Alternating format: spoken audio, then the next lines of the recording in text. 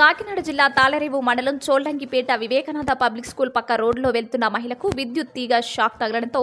మడద సత్యవతి వయసు నలభై సంవత్సరాలు మృతి చేపలు అమ్ముకోవడం కోసం మార్కెట్కి వెళ్తుండగా రోడ్డు పక్కన ఉన్న